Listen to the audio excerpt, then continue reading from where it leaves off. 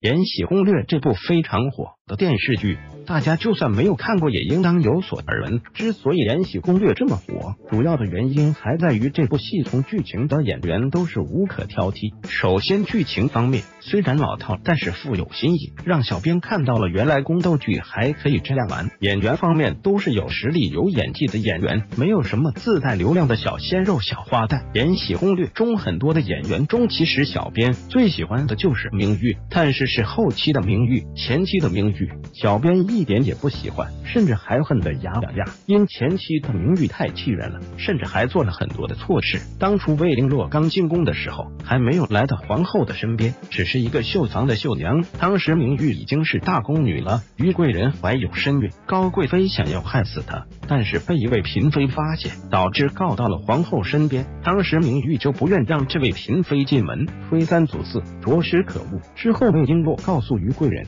琵琶心液有毒，然后于贵人离开求救皇后，又是明玉阻拦不让进门，最后导致那位被真男掌嘴的嫔妃上吊自杀。所以说，如果当时没有明玉的阻拦，或许就能够救下这位嫔妃。之后，魏璎珞想方设法进入了长春宫，来到皇后身边，但是因为跟傅恒走得近，所以明玉就处处为难魏璎珞。当时小编就在想，这个明玉这样得罪魏璎珞，估计活不了几集。之后只能想到，这两位居然成为了好姐妹。最后，明玉一直陪伴着魏璎珞。其实想一想，这也是导演和编剧设计巧妙的地方。首先让观众不喜欢明玉这个角色，认为她是反派，但是之后又给明玉洗白，让观众知道她是一个善良的好姑娘，所以这样观众们就有些愧疚，认为怪错她了，所以之后才能这么喜欢。姜子欣早前因为拍戏太累，休息不够，导致眼睛过度疲劳，视力下降的厉害，之后喝了一段时间的小云茶，才得到好转。小编也尝试了两个多月，